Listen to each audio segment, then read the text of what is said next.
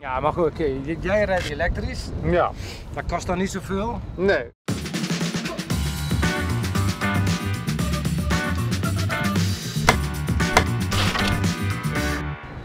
Mooie bak, hè? Ja, mooie auto. Nou, kijk, Ja. ben ik. Wieberen is er voor jou. Ik zie je duurzaam, maar iedereen heeft het over duurzaam. Dat, dat, dat- met die, ja, we staan hier dan tussen de windmolens, maar Ja. ik heb er nog niet zoveel mee. Je kan het heel erg eh, groen aanvliegen hè? en eh, denken dat het alleen maar over de bloemetjes en de bijtjes gaat. Maar het gaat natuurlijk gewoon ook om de economie. En als je al bedenkt dat je op zonnepanelen nu 20% rendement maakt en op de bank, ik weet niet wat jij krijgt op je spaargeld, niks. Nou ja, ik heb ook geen Niks. spaargeld, maar je krijgt ook niks. Ja, je hebt geen spaargeld.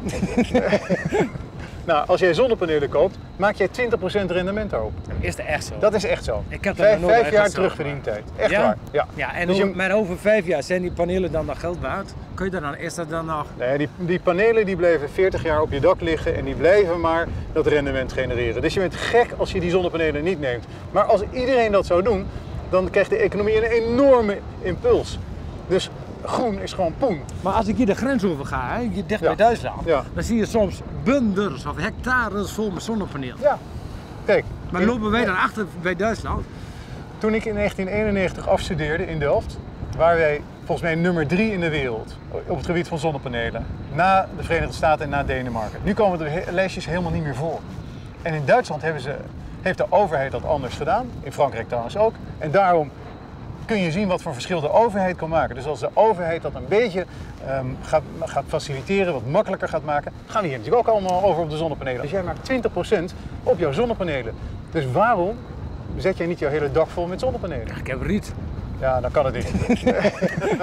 En wat wil jij daaraan veranderen? Met de nummer Kijk, 41. Nederland is kampioen in, eh, in regeltjes. Dus we hebben een regeltje dat je maar 5000 kilowattuur kan eh, salderen. We hebben een regeltje dat je energiebelasting moet eh, betalen als je op iemand anders een pandje zonnepanelen hebt. Eh, we hebben een, eh, een postcode roos. Als jij zonnepanelen wil plaatsen binnen een bepaald postcodegebied, dan mag dat. Maar als je één postcodegebiedje verder gaat, dan, mag het weer niet. Nee. Ik denk ook dat dat de reden is waarom Nederland er een beetje achterloopt. Dan denk ik, ja, we Ja. er wel aan beginnen, maar jongen, jongen, kom er maar eens doorheen. Al dat soort dingen kun je wat slimmer over nadenken en dan kan het wel. Je moet gewoon normaal doen. Je moet gewoon normaal doen. Nou, dat is het. Ja. Als jij nou normaal blijft doen en als de rest jou gaat voor, Precies. dan gaat Zo het is het maar net. Met je Tesla. Ja, jij met je BMW. Ja. En jij met je nummer 41. En jij, en jij nummer twee. Ja.